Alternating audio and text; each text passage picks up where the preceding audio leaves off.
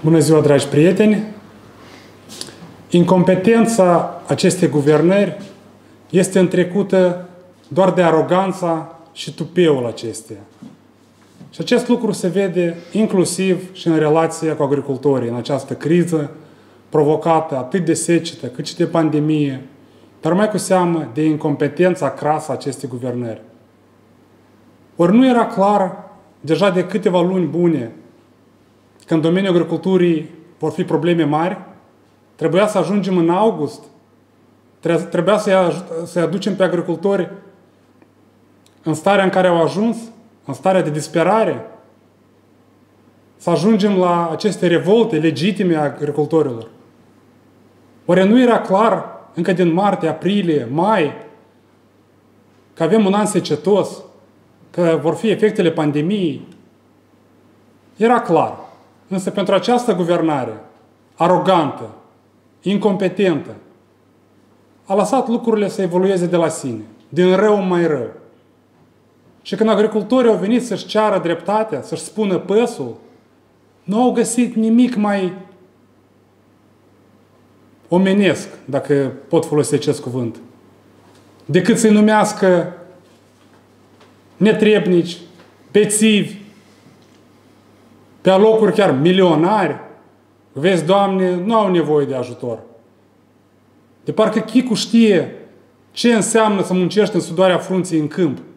De parcă Dodon știe ce înseamnă să muncești în sudoarea frunții de cu zori până în seară, pe arșiță. Dodon știe doar cum să, să se plimbe cu Mercedesul pe arătură. Asta e abilitatea lui. Sau să se odihnească, prin locuri luxoase.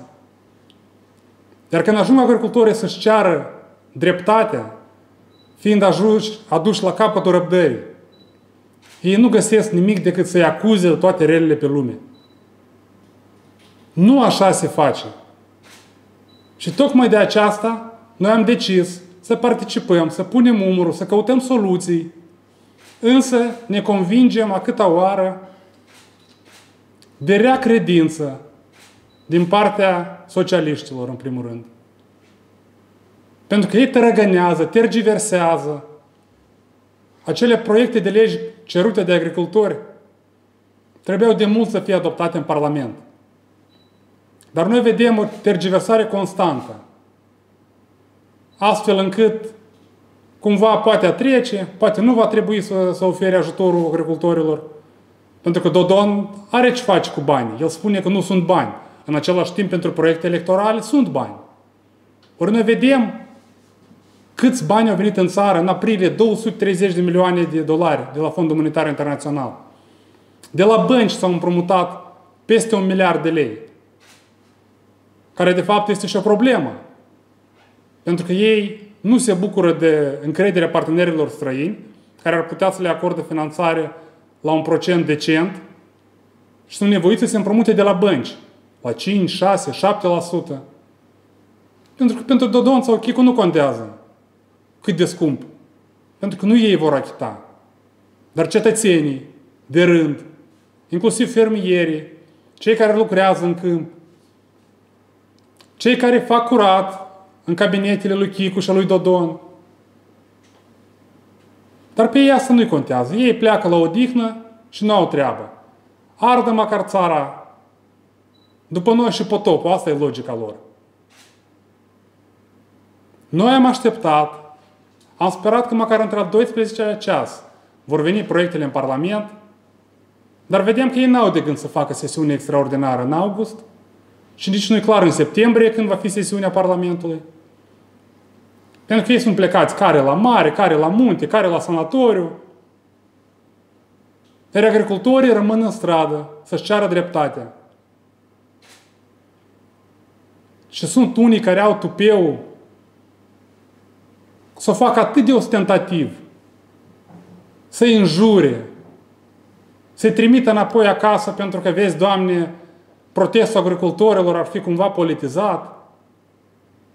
Agricultorii nu trăiesc din bani din sacoșe, așa cum o face Dodon, Cornel Furculiță, Agricultorii trăiesc din, din munca lor. Grație lor avem pâine pe masă. Grație muncii agricultorilor se plătesc impozite la stat. Pe când Chicu are tupeu să spună că, vezi, cei care protestează nu vor primi asistență. De parcă ar fi banii lui Chicu. De parcă ar fi banii lui Dodon sau lui Cornel. Sunt banii contribuabililor. Mai este unul în Belarus care spune că nu vă dau țara. De parcă țara e a lui, de parcă a privatizat-o. La fel și Chicu. Nu le dă bani agricultorilor care protestează. De parcă sunt banii lui. De asta ziceam că nu-i doar incompetență, dar este și o aroganță nemai văzută.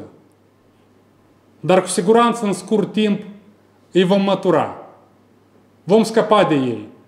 Pentru că atitudinea cetățeanului de rând, agricultorilor, antreprenorilor care au fost băgiocoriți în egală măsură, a medicilor lăsați fără echipament, a profesorilor care, iată, sunt aruncați acum în prima linie, fără nicio claritate, fără nicio protecție. Toți acești oameni înțeleg și văd ce se întâmplă. E important să se trezească măcar între 12-lea ceas și să vină în Parlament să votăm acele proiecte de lege, despre care vă vorbi mai detaliat colegul meu, domnul Bolea. Bună ziua, mulțumesc cetățeni. Sunt Vladimir Bolea, membru al Comisiei de Agricultură Parlamentului Republicii Moldova. Uh, în, pe platformă parlamentară, la propunerea unui grup de deputați, a fost creat uh, grupul uh, de lucru cu scopul de a identifica soluții optime pentru redresarea situației din domeniul agricol, ca urmare a pierderilor majore cauzate de sește excesive din anul curent. Deci, în acest grup de lucru creat de patru deputați, în realitate reprezenta aproximativ 70 ceva, 75-76 de deputați, o mare majoritate din uh, Parlamentul Republicii Moldova, ceea ce vorbește despre nivelul extrem de grav uh, al uh, situației din agricultură și din economie per ansamblu. În cadrul ședințele grupului de lucru au fost audiate informații privitoare la pierderile agricole cauzate de secetă excesivă, precum și soluțiile posibile de a fi adoptate pentru diminuarea acestor consecințe. La ședințele grupului de lucru care au fost uh, numeroase, au participat uh, reprezentanți de la Ministerul Finanțelor, au participat reprezentanți de la Ministerul Agriculturii, de la IPA, de la Ministerul Sănătății, Muncii, uh, Protecției Sociale, Ministerul Justiției, de la Banca Națională a Moldovei, de la Camera de Comerț Industrie, Camera Națională a Pieții Financiare, Serviciul Fiscal de Stat, Casa Națională de Asigurări Sociale. Deci în aceste aproape două săptămâni de muncă s-a repus o muncă considerabilă cu toți factorii de decizii din Republica Moldova pentru a găsi soluțiile în cazul cetățenilor din Republica Moldova antrenați în activitatea agricolă. Grupul de lucru a desfășurat întruniri inclusiv cu reprezentanții protestatarilor, cu grupul de protestatari uh, afectați, agricultori afectați, precum și furnizori și operatorii de inputuri agricoli pentru identificarea acțiunilor măsurilor uh, în vederea soluționării conflictelor care pot apărea de la neachitarea agricultorilor pentru datoriile care le au față de persoanele livrări de inputuri. Deci eu am să trec acum punctual pe fiecare problemă care a fost înaintată și cine a fost responsabil de soluționarea, rezolvarea ei și la ce etapă se află această uh, întrebare. Una dintre cerințele care le-au avut uh, agricultorii a fost uh, legea despre forța majoră. În cadrul discuțiilor cu guvernul s-a identificat că proiectul de lege este deja elaborat de către Ministerul Economiei. Uh, el a fost uh, avizat pozitiv de către Ministerul Economiei, responsabil de ducerea până la capăt a tuturor uh, proceselor de, de înregistrare a acestui proiect a fost numit Ministrul Justiției, Ministerul Justiției la etapa actuală. El urmează a fi votat. Deci este un proiect de lege pregătit pentru a fi votat la următoarea ședință a Parlamentului. Uh, deci, legea despre forța majoră urmează a fi votată ca să intre în concordanță cu legislația internațională în ceea ce privește starea uh, de forță majoră și cum ea poate fi declanșată în Republica Moldova. Atunci când vorbim despre o altă mare problemă și anume reșalonarea datoriilor pentru cât față de bănci și instituțiile creditare nebancare pe care le au agricultorii noștri, Uh, noi vorbim uh, per total de o sumă de 3,2 miliarde de lei pentru uh, instituțiile bancare din Republica Moldova și 1,2 miliarde de lei pentru instituțiile nebancare. Cu siguranță noi nu vorbim de 100% de procente din aceste credite că vor intra în incapacitate de plată, pentru că uh, Uh, nu toți agenții economici au avut uh, de suferit, uh, dar vorbim despre relația dintre cei 2800 de agenți economici care au înregistrat pierderi de 60% și mai mari pe fiecare hectar, care practic cu roada care au strâns-o de 40%, 35% din uh, roada ce așteptată nu le va permite să-și onoreze obligațiunile. Și nu va fi un act de rea credință, dar va fi din, uh, pur și simplu din lipsa de posibilități de a face acest uh, lucru. La etapa actuală, la acest capitol, cred că înregistrăm cel mai mari restanțe, din simplu motiv că Republica Moldova Uh, este o parte componentă a unui tratat internațional care urmează să-l semneze și vorbim de tratatul cu Fondul Monetar Internațional și cu siguranță sunt uh, niște reguli care pe ultima sută de metri este foarte greu de schimbat. Uh, căutăm soluții la acest capitol în cadrul grupului de lucru cu, la întâlnirile care le-am avut cu, și cu guvernatorul Băncii Naționale, inclusiv cu Asociația Băncilor din Republica Moldova, pentru a înregistra un mod uh, mult mai, uh, uh, mai benefic, mai în favoarea agenților economici care au intrat în incapacitatea de plată sau urmează să intre în incapacitatea de plată ca urmare a secetei. Aici cu siguranță vorbim despre problema că atunci când agentul economic se reașează la masa de negocieri pentru reeșalonarea creditelor cu băncile trebuie să plătească o taxă conform contractelor de în jur de 19.000 de lei. Aici vorbim despre penalizări și aici vorbim despre uh, redresarea, uh, anularea bonității unei companii uh, în minus, uh, ceea ce poate duce în final chiar și la un mod de penalizare că următorii 2 ani de zile un agent economic să nu poată reîncheia un contract. Aceste trei puncte sunt uh, punctele care îi deranjează în mod direct pe agenții economici, care în marea lor majoritate sunt de bună credință și au intrat sau vor intra în incapacitate de plată în consecința secitei, dar nu din reavoință sau din proastă administrare a afacerii. Deci, uh, repet, la acest capitol încă nu există soluții definitive. Uh, într-un final, una dintre posibile variante ar fi asumarea de către aceste patru partide care fac parte din grupul de lucru au unui proiect de lege și din punct de vedere politic votat în Parlamentul Republicii Moldova. Deci la acest capitol încă nu avem claritate, trebuie să lucrăm până la final ca să redresăm situația sau să vedem celelalte tipuri de modalități prin uh, discuții directe cu Banca Națională, anume pentru a evita această problemă de care slăvesc agricultorii din Republica Moldova. Uh, mai departe vorbim despre reeșalonarea creditelor la proiectele 2KR și MECA Agro, fără penalizări. Responsabil de acest uh, punct a fost uh, guvernul.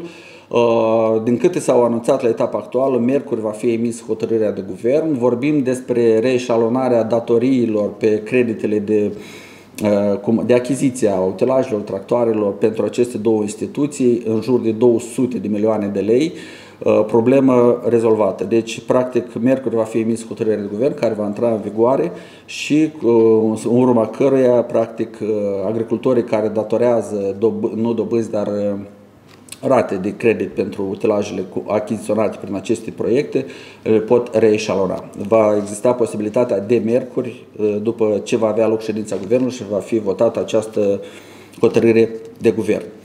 Uh, următoarea este anularea necesității, uh, una dintre cerinți care a fost rezolvată, este anularea necesității prezentării certificatului de lipsă de datorii la IPA a celor care au suferit din cauza secetii pentru o perioadă de 12 luni. Responsabil a fost Ministerul Agriculturii, sâmbătă după întâlnirea reprezentanților guvernului cu protestatarii, S-a mers la Ministerul Agriculturii, această problemă a fost îndeplinită, s-a elaborat un mecanism uh, pentru, anume pentru agricultorii care au suferit din urma acestor, uh, acestei secite, s-a elaborat un mecanism simplificat și acest certificat uh, și multe alte lucruri, practic cred că pe pagina IPA agricultorii care au suferit din urma agriculturii se pot documenta să vadă care din cerințe au fost anulate, dar acest punct a fost îndeplinit de către Ministerul Agriculturii. Atunci când vorbim despre, s-a mai făcut uh, au fost discuții în, la capitolul TVA. Noi cu toții cunoaștem că agricultorilor din Republica Moldova, Ministerul de Finanțe, implicit uh, Republica Moldova ca și stat, le datorează 1 miliard 800 de mii de lei, bani acumulați parcursul la 10 ani de când ei lucrează și activează în acest domeniu. Este din vari motive, dar nu despre asta este tema noastră de astăzi.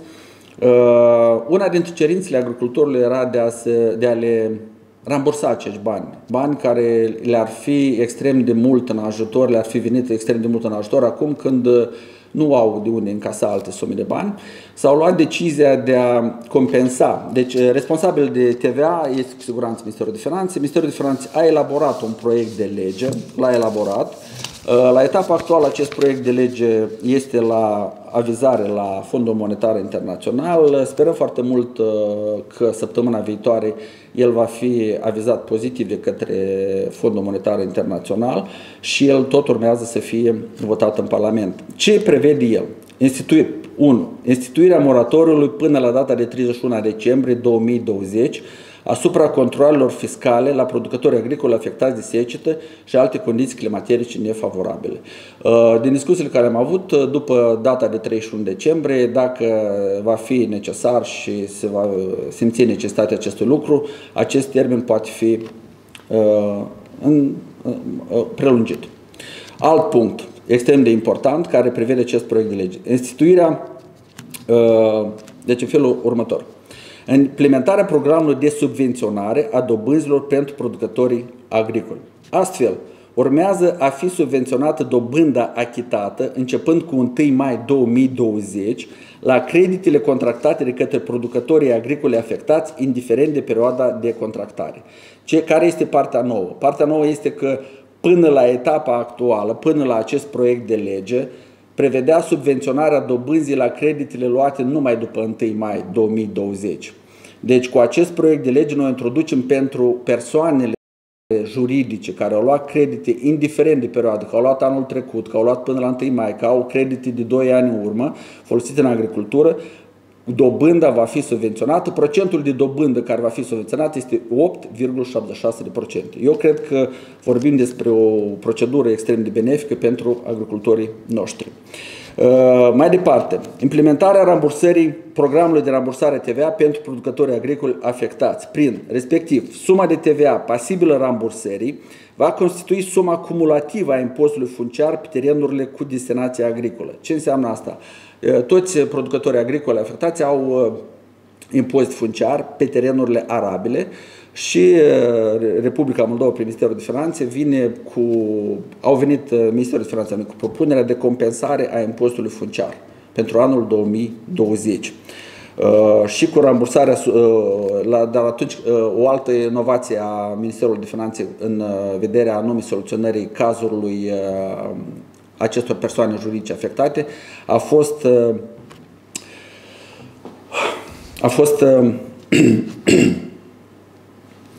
nu numai impozit funciar destinat cu, pentru terenul cu destinație agricolă, dar uh, declarat pentru anul 20, 2020, dar și a sumii calculate și declarate a impozitelor salariale pentru perioada fiscală, în perioadele fiscale ce corespund perioadei programului de rambursare a TVA. Uh, ce înseamnă acest lucru? Până la etapa actuală, conform legii numărul 60, votată în acest an, în luna aprilie, uh, persoanelor juridice le se permitea să-și ramburseze înapoi suma de impozite achitate către stat, după care statul le rambursea înapoi. La etapa actuală, uh, acest proiect de lege care urmează să fie votat prevede ca această sumă să fie calculată, declarată, raportată, neachitată. Și în baza celor declarații vor fi transferați banii timp de 15 zile lucrătoare de la data depunerii cererii. Uh, aceste lucruri au fost uh, practic uh, prevăzute în proiectul de lege înaintat de către uh, Ministerul de Finanțe, înregistrat la etapa actuală pentru a, a fi avizat de către Fondul Monetar și iarăși urmează a fi votat în Parlamentul Republicii Moldova. Din acest considerent, noi vorbim deja de două proiecte de lege extrem de necesare și necesitatea de a crea uh, Uh, condiții de crearea condiții înseamnă ca 51 deputați să se adune să facem ședința Parlamentului pentru votarea acestor proiecte de lege. Eu cred că cu avizarea și acestui proiect de lege, poate chiar și săptămâna viitoare, indiferent de faptul că avem sărbători sau nu, noi avem nevoie ca Parlamentul să se adune să voteze aceste proiecte de legi în mod obligatoriu.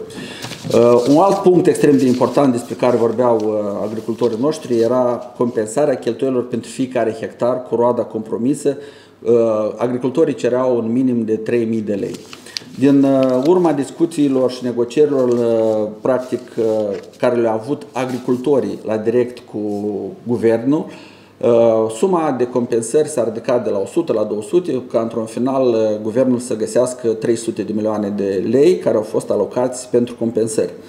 Uh, deci acesta este o anexă la regulamentul privind stabilirea modului de acordare a compensațiilor pentru diminuarea consecințelor calamităților naturale. Această anexă numărul 3 uh, va fi uh, publicată în monitor oficial marțea viitoare și eu cred că de miercuri, în baza dosarelor depuse la IPA, în baza condițiilor noi care am vorbit deja mai sus, au fost elaborate de către AIPA și Ministerul Agriculturii. Persoanele juridice care au fost afectate cu produsele de grupa 1 vor primi în felul următor. Pentru culturile reînsămânțate, pentru un hectar, va încasa 1620 de lei, pentru grâul de toamnă va încasa 1500 de lei, pentru orzul de toamnă 1530 de lei, rapița de toamnă 2100 de lei. Acest proiect, acest proiect, acest anex mai prevede și alte tipuri de produse, gen Uh, pentru pro, uh, culturile pomicule, nucifere, arbuște fructiferi și căpșuni 3800 de lei la hectar, vița de vii 3000, legume uh, în câmp deschis 2100, mazărea 1100. Cu siguranță ele vor intra în vigoare din începând de marți când va, intra, când va ieși în monitor oficial și toți agenții economici care au avut de suferit și au fost înregistrați până la data de 1 iulie în registrul celor 2800 de întreprinderi în mod obligatoriu trebuie să pregătească toate dosarele. Cu siguranță în octombrie-noiembrie urmează grupa a doua, pentru care trebuie chiar și găsite surse financiare pentru următoarele sume de bani care trebuie plătite, pentru că la foarte multe dintre ele deja este evident că vor fi pagube, dar uh, noi mai vorbim și de alte categorii, noi vorbim uh, de culturile care au fost semănate pentru creșterea animalelor, Uh, și care au avut la fel de suferit. Uh, va trebui de găsit pe aceeași platformă parlamentară împreună cu Ministerul Agriculturii și cu Guvernul soluții pentru ajutorarea zootehniei, pentru ajutorarea fermelor care se ocupă de creșterea vacilor, uh, care vor suferi enorm de mult din cauza secetei. Baza forageră s-a redus imens. Atunci când vorbim despre achizițiile de culturi de genul porumb, grâu, cu siguranță vorbim despre alte prețuri și ca să nu aibă loc majorarea pe lanța materii prime în, uh, pentru acești agricultori, cu siguranță va fi nevoie de intervenția statului și la acest capitol, uh, mai ales că suntem extrem de interesați de susținerea și domeniului zootehnic.